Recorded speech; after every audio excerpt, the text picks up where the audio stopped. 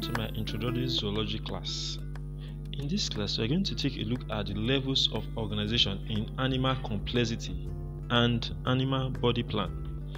Before we look at that, what is zoology?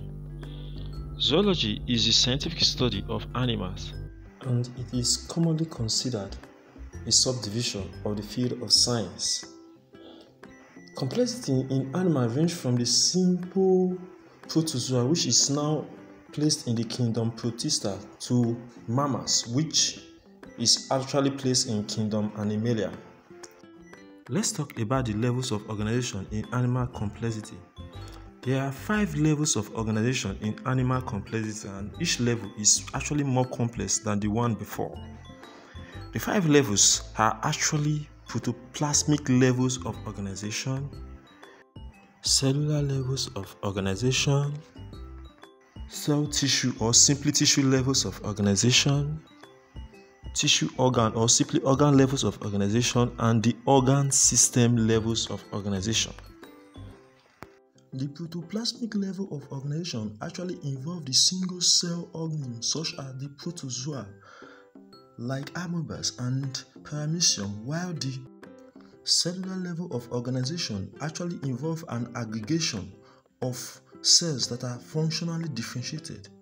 In this case, division of labor is actually evidence such that some cells are concerned with nutrition, others with production.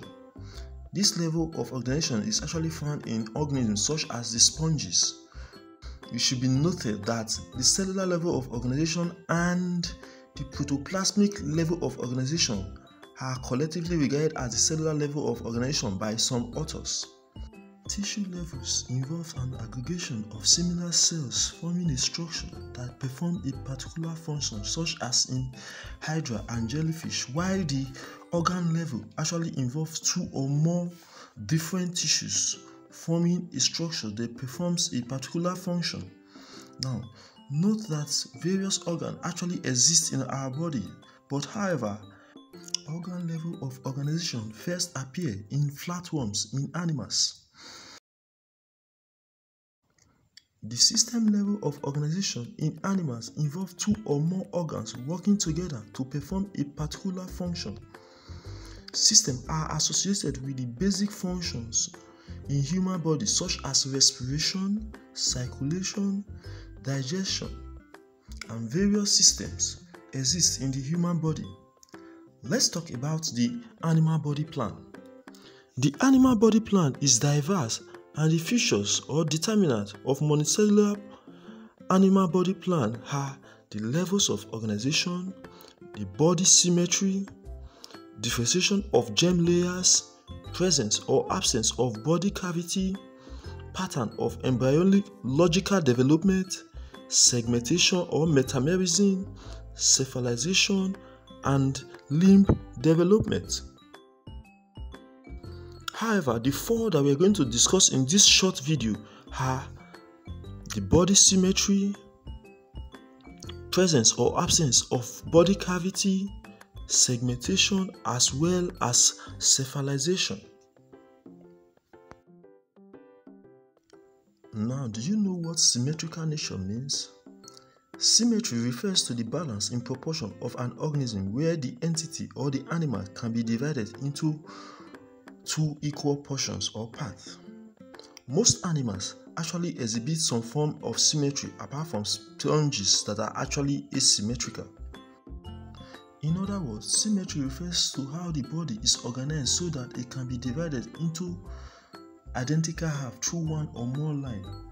Asymmetrical organisms cannot be divided into two equal halves through any line.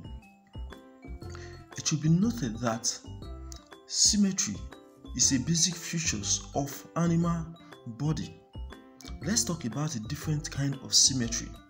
We have the asymmetrical organisms, we have the spherical symmetry, we have the radiant symmetry, we have the biradiant symmetry, and we have the bilateral symmetry. Let's talk about the asymmetry or asymmetrical organisms. These are organisms that actually have no symmetry and cannot be divided into two equal identical have through any planes or line.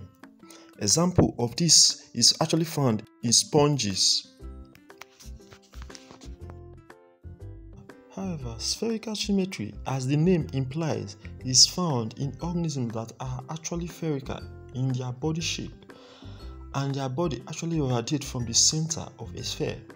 Example of this is found in protozoa such as Radiolaria, while the other uh, symmetry that we are going to discuss is actually radiant symmetry. This is symmetry about an axis. Animal with radiant symmetry has a body shape that radiates outward from a center point, such as a starfish and jellyfish. The other symmetry is bilaterally symmetrical. This type of symmetry is exhibited by advanced animals such as vertebrates and it involves a situation whereby the body is actually organized in such a way that it can be divided into two equal halves which are mirror image of each other through only one plane. While the biradial symmetry is actually a kind of intermediate symmetry between the radial symmetry and the bilateral symmetry in this case, the organism can be divided into two equal halves which are mirror image of each other through two planes only and this is actually found in the comb jelly in the phylum Ctenophora. Let's talk about the presence or absence of body cavity as another determinant of animal body plan. Animals can be grouped according to their body cavity type or lack of body cavity type. The epithelial-lined cavity is a space usually filled with body fluid which lies between the gut or the digestive system and the body wall. This space within the body houses organs such as the kidney and spleen and contains the circulatory system. Note that the word cavity actually means space and the true body cavity actually arises from the mesoderm layer and it is actually lined by the mesodermal peritoneum.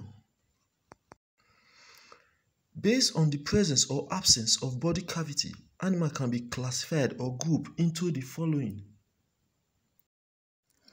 Acoelomate, pseudocoelomate, and coelomate or eucoelomate. They are in the acoelomate, these animals do not have body cavity or coelom, and their mesoderm region is completely filled with tissue termed parenchyma. Example of acoelomates are flatworms and other primitive animals. Pseudocoelomates are animals that possesses cavity surrounding their gut. However, this cavity is not lined with mesodermal peritoneum. It is actually derived from the blastocoel of embryo. It should be noted that the pseudocoelomate cavity is derived from both the endoderm as well as the mesoderm, while true body cavity is derived only from the mesoderm. Eucoelomates, as we know it, are animals with true body cavity. Their body cavity is lined with mesodermal peritoneum and is derived only from the mesoderm. Example of eucoelomates include the earthworms, insects, sea stars, and all vertebrates. Eucoelomate, regarded as the true coelom, can further be divided into two, namely the protostome and the deuterostome, based on whether the mouth develops first or the anus develops first during embryonic development. In the protostome, the mouth actually develops first, while in the deuterostome, the anus develops first. Examples of the protostome include the phylum such as the Arthropoda or the arthropods, the mollusks, and the annelids, while examples of the deuterostome include the chordates as well as the echinodermata or the echinoderms. Again, it should be noted that in the protostome, the mouth developed first, while in the deuterostome, the anus developed first. Let's talk about metamerism or segmentation. Metamerism is a condition of being constructed of a series of repeating parts. It can also be defined as a serial repetition of similar body segments along the longitudinal axis of the body. Each segment is called the metamer or somite. It should be noted that true segmentation is found in only three phyla, namely the Annelida, the Arthropoda, and the Chordata, though superficial segmentation is actually found in many organisms, including some advanced ones. The last determinant or feature of the animal body plan in today's video is cephalization. Cephalization refers to the evolutionary trend of concentrating the nervous tissues, the mouth, and sense organ towards the front end or the head of an animal. Fully cephalized organisms have a head and brain, whereas less cephalized animals actually have one or more nervous tissue region. It should be noted that again, less cephalized animals have no brain but one or more tissue region, and the differentiation of the head is actually called cephalization and it is found only in bilaterally symmetrical animals. Let's talk about the advantages of cephalization. Cephalization concentrates sense organ in front of the body. This actually allows a forward-facing animal to scan its environment more efficiently, allowing it to find food and shelter while also avoiding predators and other dangers. Cephalization moves the mouth closer to the sense organ and brain. As a result of this, an animal can quickly analyze food source and this gives them advantage of getting food and ensuring survival. This is the end of this part of the introductory zoology class. In my next class, I'll be giving more details on protozoa subkingdom. Please like, comment and subscribe to my YouTube channel if you find this helpful. Thanks for watching.